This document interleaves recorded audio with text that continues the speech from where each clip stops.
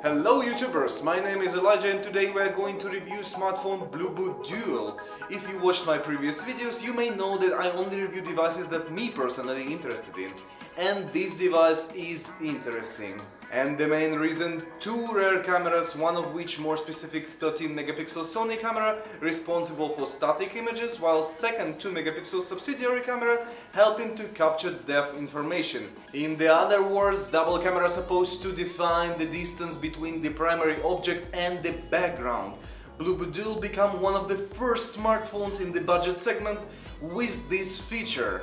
And since this is the main feature, we will start our review with camera. We have tested it in the different light conditions and my final opinion about the rear camera is quite controversial. On one hand, you're waiting for something extraordinary, but in reality, images are still a bit overexposed and under mixed and dim lights there are still a lot of noises. On the other hand, pictures in any light condition except maybe those that made in complete darkness with the flashlight are very nice and sharp has amazing color rendering and saturation. Videos made by rear camera are outstanding and cut above most of the video made by other phone cameras in the price segment and maybe even on more expensive phone. It is very sharp, quickly autofocusing and almost instantly adjusts lighting.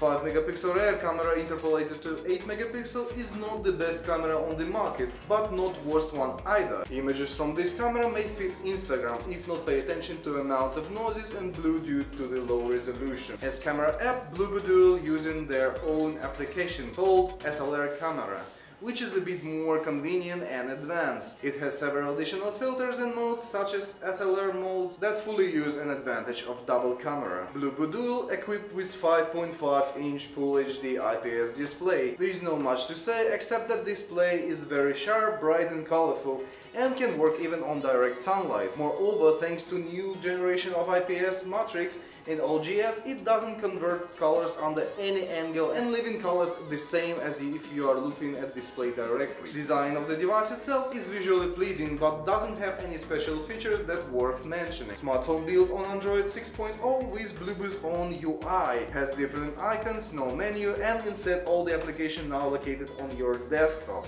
There are also some alteration in the settings such as mirror vision, super battery saving mode, that basically setting the phone into the plane mode with ability to receive calls and short messages. And of course smart accessibility, where included settings such as off-screen gestures, smart call answer and few others. Under the hood device running quad-core MTK6737 has 2GB of RAM and 16GB of internal memory. With that configuration of hardware, smartphone can be hardly called as gaming device. And practice and testing only proving my words. Games such as Modern Combat 5 and Asphalt 8 Airborne can be barely played on highest setting due to significant FPS drops, while the games such as Dead Trigger running without any troubles. Epic Citadel on the ultra high setting showing the result 23 FPS and the AnTuTu giving to the device a score 4169. After few minutes of playing, device heated considerably what eventually will affect overall performance. Battery life is quite decent and under the load of Epic Citadel with 50% brightness and modules turned off, device holds the charge for about 3 hours. With the normal use, battery will hold charge for about 12-15 hours depends on usage. Fingerprint scanner is quite good and will recognize your finger in 9 out of 10 times, however it mostly depends on how well defined your fingerprints are.